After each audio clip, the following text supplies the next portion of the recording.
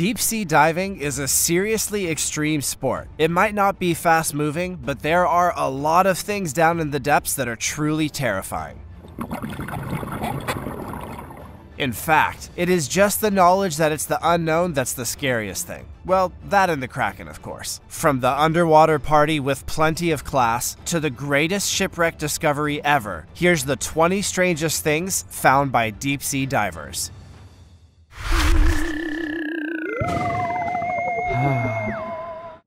Number 20. 168 bottles of bubbly 170 years old.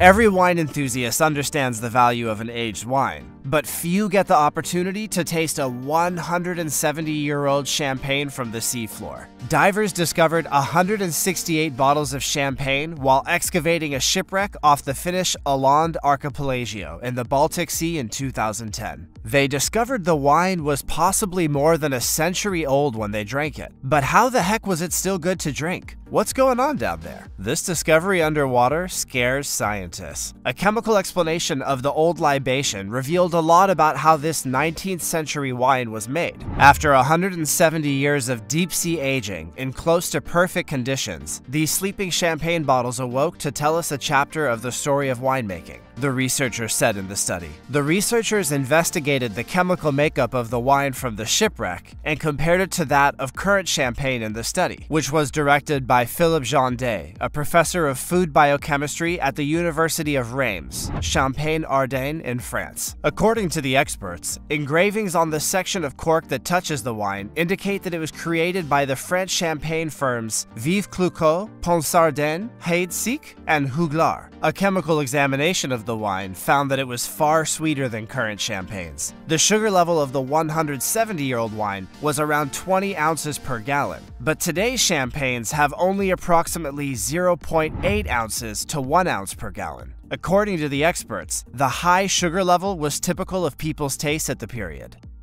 Before we go on, like this video, smash that subscribe button, and click the notification bell right now, or the centipede will crawl on your face when you're sleeping.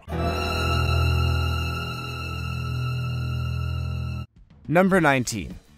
Shipwreck Holy Grail. Two ships found near Spanish galleon, full of gold worth 17 billion.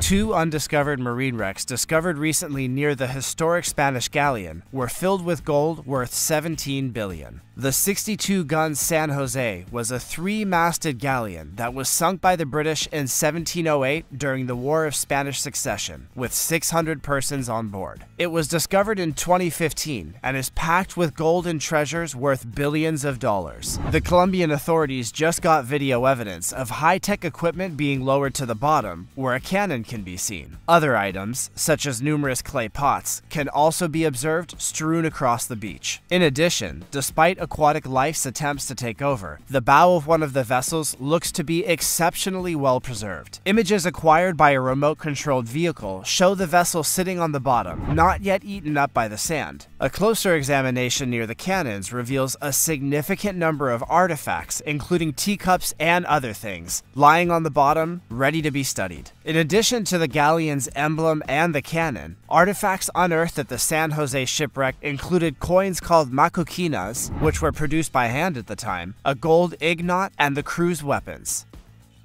Number 18. Wreck of a 340 year old sunken Royal Navy warship discovered off Norfolk coast. A British vessel that sank off the coast of eastern England in 1682 while transporting a future king has been discovered, in what has been termed as the most significant historic maritime discovery since the raising of the Mary Rose in 1982. The declaration comes after 15 years of secret work to preserve the wreck. After a four year search of the Norfolk shore, brothers Julian and Lincoln Barnwell and friend James Little discovered the ship half buried on the seabed in 2007. On May 6, 1682, the Royal Navy ship carrying the future King of England James Stuart, the then Duke of York, went aground on a sandbank. It sank after a battle for control of the ship's course as it crossed the dangerous Norfolk sandbanks between the future King James II of England, a former Lord High Admiral, and the pilot. Claire Joly, a nautical history expert at the University of East Anglia, highlighted that the age and reputation of the ship, the state of the wreck, the items previously retrieved, and the political background of the tragedy all confirmed to the significance of the find. The Mary Rose, one of Henry VIII's warships that went down in 1545, was recovered in 1982 in a feat of maritime archaeology that revealed a wealth of information about Tudor life. A third of the wooden cruiser, which was nearly submerged beneath the seafloor, had survived, with the viable pieces eroding away. Among the things recovered from aboard the Mary Rose were wooden cannon cartridges, cooking pots, scalpels, leather book covers, syringes, fiddles, whistles, weaponry, navigation systems, and furniture, giving historians the biggest collection of genuine Tudor antiques ever assembled. Number 17.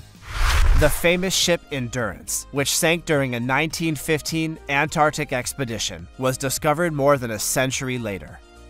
Scientists have discovered and videotaped one of the largest unknown shipwrecks in history, 107 years after it went down. The Endurance, the lost vessel of Antarctic explorer Sir Ernst Shackleton, was discovered at the bottom of the Weddell Sea. In 1915, the ship was smashed by sea ice and sunk, forcing Shackleton and his men to attempt an incredible escape on foot and in tiny boats. Endurance appears to be in excellent shape in video footage of the remnants. Even after resting in 3 kilometers of water for almost a century, it still appears the same as the day it went down in November. The timbers are still very much intact, and the name, Endurance, is clearly visible on the stern. The Falkland Maritime Heritage Trust spearheaded the search for the missing ship, employing a South African icebreaker, Agulhas II, outfitted with remotely controlled submersibles. The seasoned polar geographer Dr. John Shears, who led the operation, described the moment cameras landed on the ship's name as jaw-dropping. The wreck itself is declared a monument under the Antarctic Treaty and must not be damaged in any way. As a result, no artifacts have been brought to the surface. The ship seems much as it did when Shackleton's photographer, Frank Hurley, captured it for the last time in 1915.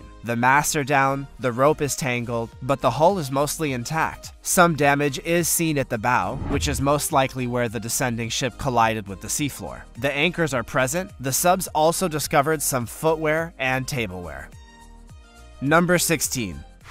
The world's oldest intact shipwreck has been discovered in the Black Sea.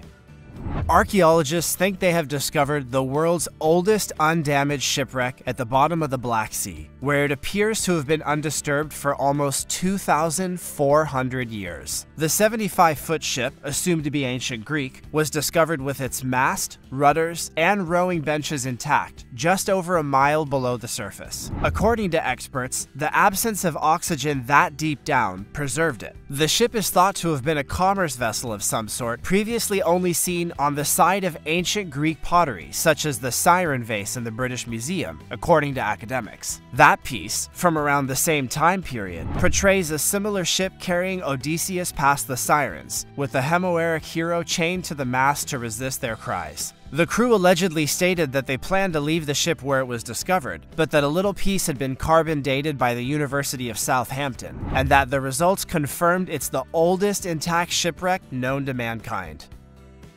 Number 15. Yellow Brick Road.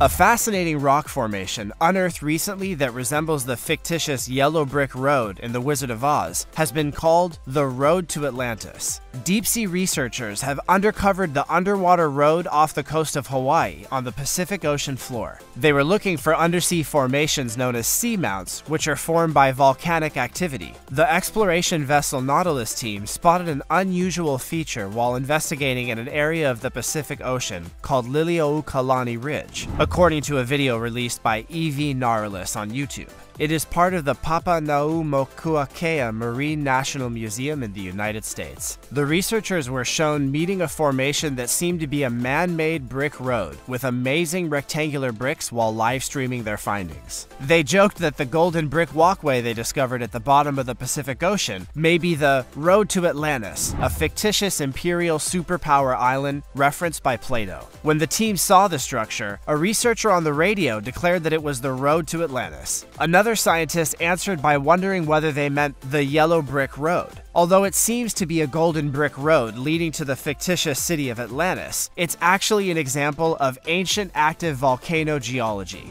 They also stated that the cobblestone-like pattern of cracks in the rock is most likely the product of repeated heating and cooling, caused by innumerable volcanic eruptions throughout time. Number 14. Diving YouTubers have found remains of 16 missing people. Jared Leisek, an Oregon based scuba diver, began cleaning up local rivers in 2018 and broadcasting recordings of his underwater experiences to his YouTube channel, Adventures with Purpose. When the crew started rescuing submerged automobiles, relatives of missing persons became interested. Bob Goff of Montana had been looking for his wife Tammy for over three years when he contacted the organization for assistance in searching for her truck in the river where Tammy's dog was discovered immediately after she went missing. It must be traumatic to view those dead bodies. Stop right. Let's drop right here. Yet they do it not for their personal benefit, but for the benefit of others. They are deserving of far more than a brief mention on YouTube. These guys are some real heroes. Scuba diving is a type of underwater diving in which divers employ breathing equipment that is totally self contained and not dependent on a surface air supply. Christian J. Lambertsen invented the term scuba, an abbreviation for self contained underwater breathing apparatus, in a 1952 patent. Scuba divers carry their own breathing gas, commonly compressed air, which gives them more independence and movement than surface supplied divers, and longer time underwater than free divers. Scuba diving can be done recreationally or professionally in a variety of settings, such as scientific, military, and public safety responsibilities. However, most commercial diving employs surface supplied diving equipment when possible. Scuba divers who participate in clandestine armed forces operations are known as frogmen, combat divers, or assault swimmers. Number 13. Amelia Earhart plane debris found underwater. In the late 1930s, a little kid on Papua New Guinea Island witnessed an aircraft crash into the beach, its left wing engulfed in flames. The young lad informed local adults, but they didn't believe him. The plane was swiftly carried offshore and underwater, where it is currently covered with coral. And it could not be just any plane. One amateur historian believes it might be Amelia Earhart's. Divers with Project Blue Angel stated the buried plane matched the key characteristics of Earhart's plane, a Lockheed Electra 10E, during a driving mission in August 2018. According to Snavely, the crew also discovered a glass disc that might have been a lens from the front of the plane. The wreckage is located off the coast of Papua New Guinea's eastern coast, near the town of Buka. Snavely's theory is based primarily on the assumption that the Electra's gas tank was not completely full when Amelia and Noonan took off from Papua New Guinea. According to Mary Lovell's book, The Sound of Wings, The Life of Amelia Earhart, there is no clear evidence that would reveal how much fuel was put on board that day. According to other accounts, the gas tank was not completely full because the plane was already at full weight. Number 12. German World War I submarine found with 23 bodies inside. Authorities announced that an undamaged German World War I submarine carrying the corpses of 23 people was discovered off the coast of Belgium. The find on the North Sea surface, according to West Flanders Governor Carl Decaluwé, is very unique. It's quite amazing that we found something like this, Dukeluwe added. The impact damage was in the front, but the submarine is still closed, and there are 23 people on board. The discovered UB2 type driving boat is 88 feet long and nearly 20 feet wide, sitting at a 45 degree angle between 82 to 98 feet below the surface. The damage to the front of the vessel suggests that the sub's top deck may have collided with a mine. Although two torpedo tubes have been damaged, the lowest tube remains intact and closed. The submarine is coated with barnacles and algae. It's also ornamented with fishing equipment, such as nets. Researchers discovered the U boat, according to Decaluwé. He refused to reveal its exact position until the place had been secured. He phoned Germany's ambassador because we need to see what we can do with the remains. Between 1915 and 1918, the Flanders Flotilla stationed 18 U boats at Bruges. 13 of them were annihilated. It's the 11th similar wreck discovered in Belgian waters. German submarines launched from Bruges, close across the English Channel, were easy prey for Allied warships and cargo ships. Number 11. Pristine coral reef discovered off the coast of Tahiti.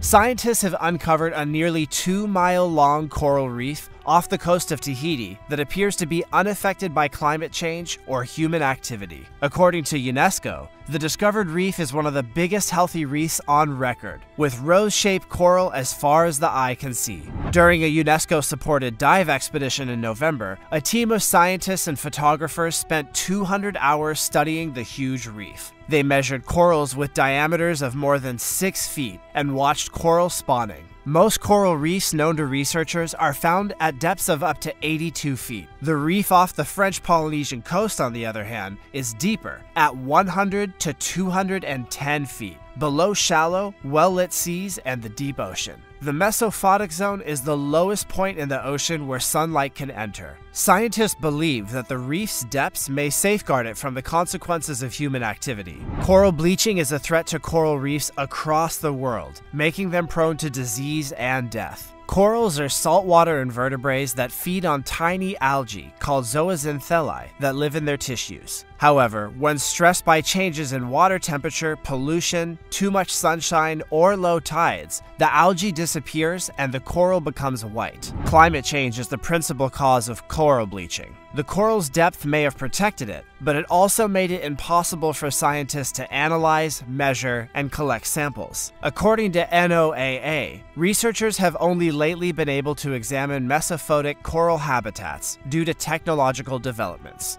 Number 10. New investigation reveals 12,000 year old skeleton in Mexican cave. For 12,000 years, the bones of an unfortunate girl named Naia were kept in the depths of an underground cave in Mexico, preserving evidence to the origins of the first Americans. Her bones, and those clues, have finally been discovered in the form of Naia's skull and the DNA in her bones,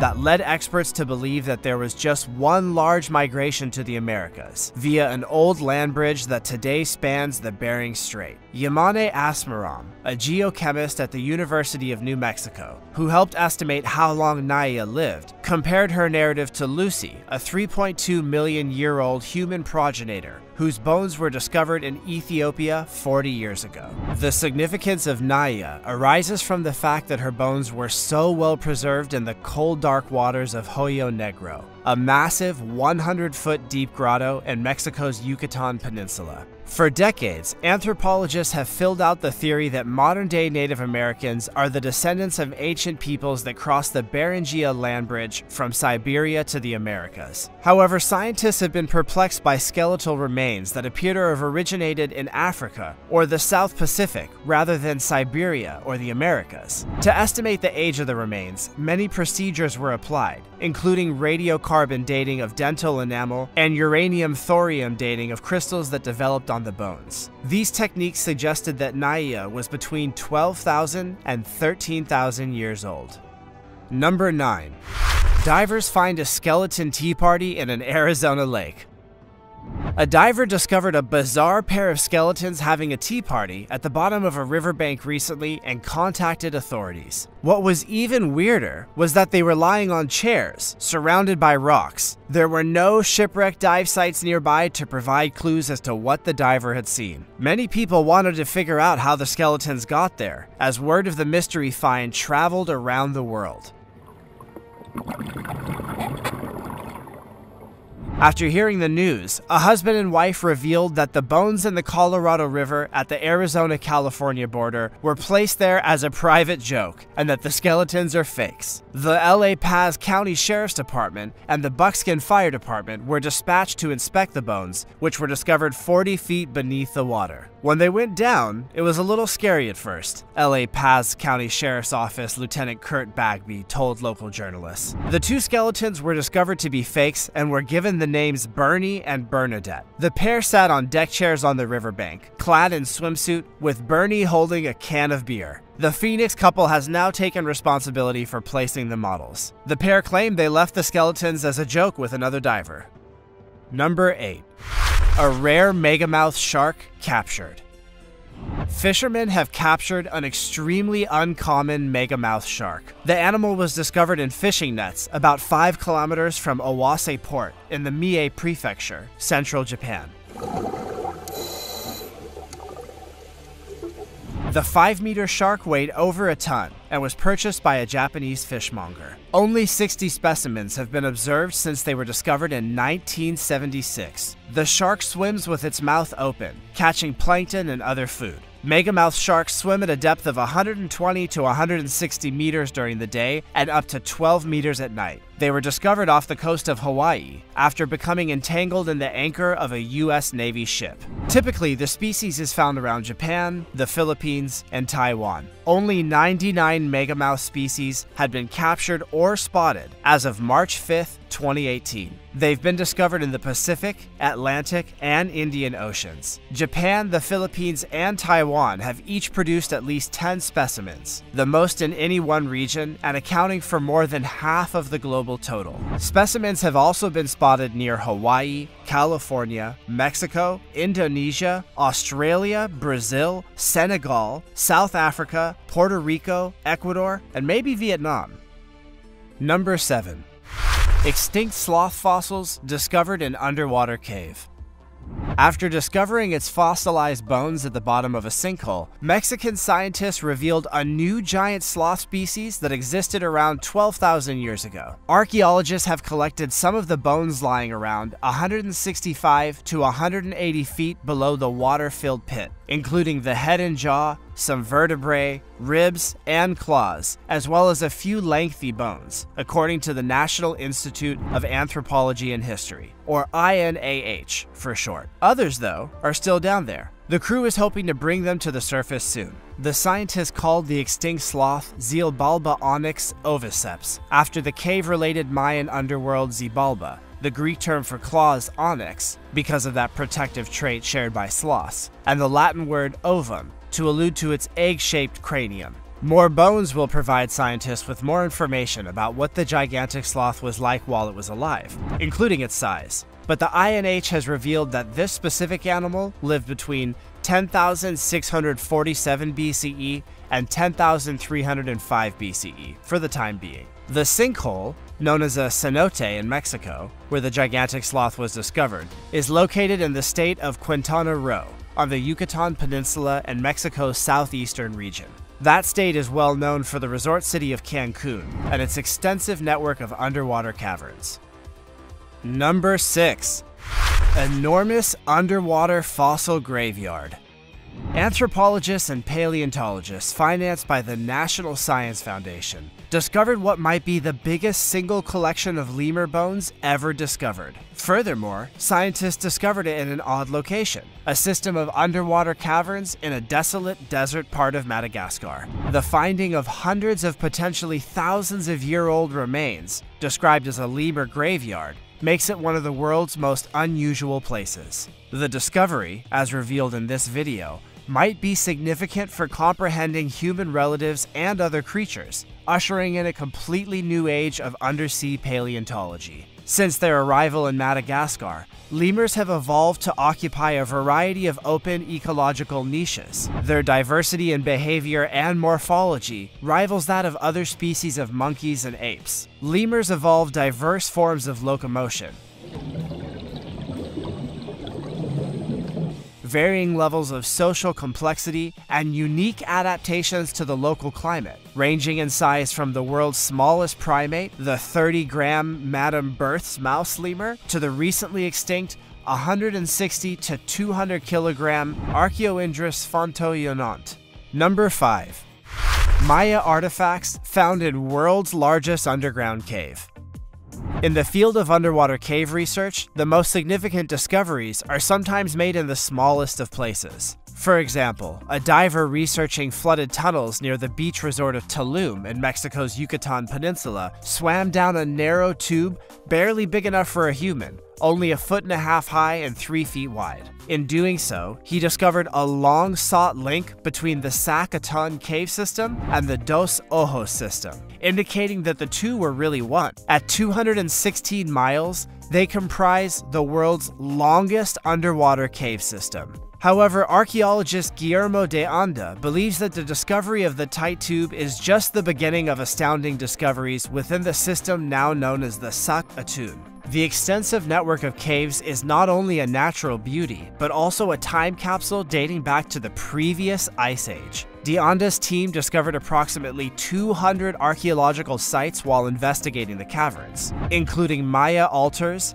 ancient human bones, and extinct animal fossils. They even discovered the bones of a previously unknown person. While the majority of the archaeological material discovered so far in the cave system is Maya, the researchers have also discovered artifacts from a far older period. Water levels were at least 330 feet lower during the previous ice age, and the caverns were not constantly flooded. Water seeping into the Sac Actun system throughout time protected the bones of ancient species, such as the gigantic sloth and Gomphotherium, thought to be elephant relatives.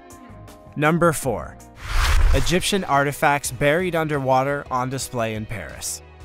An exhibition in Paris features artifacts from ancient Egyptian settlements that have been preserved for thousands of years below the bottom of the Mediterranean Sea. The show at the Arab World Institute in Paris includes 250 relics from two ancient towns found 15 years ago. The items were recovered from a 40 square mile stretch of the Mediterranean Sea near Alexandria, Egypt after seven years of underwater excavation. The artifacts, which are partially shielded by the water and are coated with silt, date back 2,800 years. Archaeologists believe the settlements ended up at the bottom of the sea following years of natural calamities such as earthquakes and landslides. Thonis, Heraklion, and Canopus were the ancient cities, and many of the objects are thought to be offerings to the ancient Egyptian deity Osiris. The exhibition comes at a critical juncture for Middle Eastern antiquities, as fighters from the Islamic State, or ISIS, have destroyed artifacts across Iraq and Syria. Number 3. Giant Sea Worm Giant luminous sea worms? Sounds pretty cool. These, however, are not worms. They're called pyrosomes. Pyrosomes are free-floating tunicates, found towards the top of the water column in tropical oceans. These pyrosomes, dubbed unicorns of the sea, as delicate as a feather boa, are another reminder of how strange the ocean can be. Each pyrosome is a colony of thousands of individual zooids, barely a few millimeters in size. Zooids clone themselves, adding to and lengthening the total pyrosome. Because of this cloning process, the larger the pyrosome, the older it is. Some can grow to be the size of a small whale, while others are only a centimeter long. They exhibit incredible bioluminescent qualities that are claimed to be far more powerful and persistent than those of other bioluminescent species. However, it is unknown how tough they are, as a penguin was once discovered trapped inside one after swimming in through the open end and becoming lodged inside. Sounds kinda scary to me. Number 2. Eel Garden the name Eel Gardens comes from the many eels that cover the seafloor not far from the dive starting point. After crossing the reef plate to the entry point, which is a 9 meter canyon, it broadens into a vast sandy region that gently slopes down. After diving along the protruding reef perpendicular to the main reef, the eels gradually appear, moving to and forth in the current like synchronized swimmers,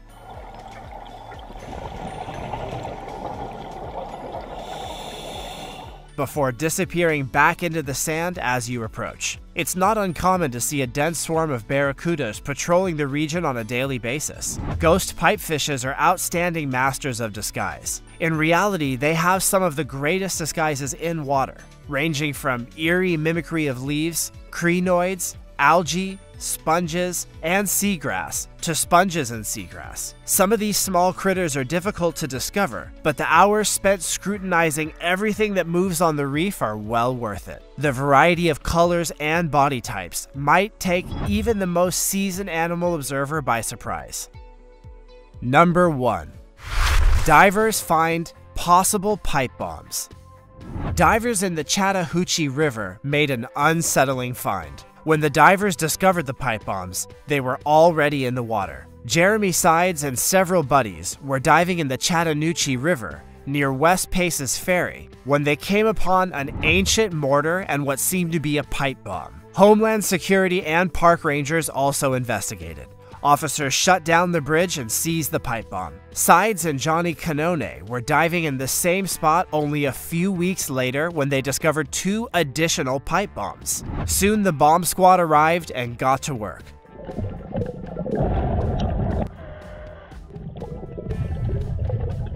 The pipe bombs were confiscated by the police. The discovered mortar might have been from World War II. According to the divers, it was taken to Dobbins Air Reserve, where military munition experts can examine it further. Did these strange discoveries make you want to take up deep sea diving? What's the strangest thing you've ever found in the sea? Let us know in the comments below. Also, check out our other cool stuff showing up on screen right now. See you next time.